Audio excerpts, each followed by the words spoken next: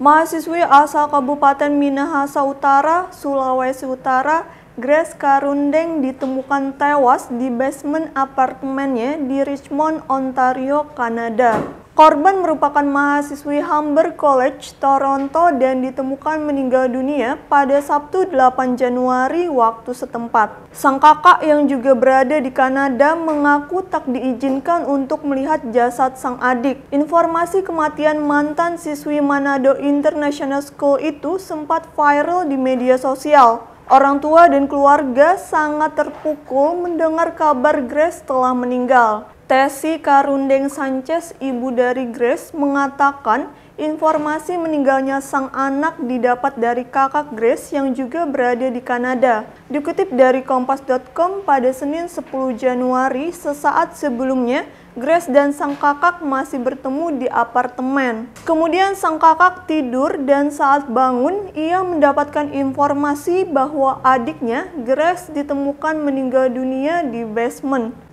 Namun sang kakak tak diperbolehkan untuk melihat jasad sang adik. Dikutip dari kompas.com pada Senin 10 Januari terkait penyebab kematiannya, pihak keluarga belum mengetahui dan masih menunggu hasil otopsi dari Kanada.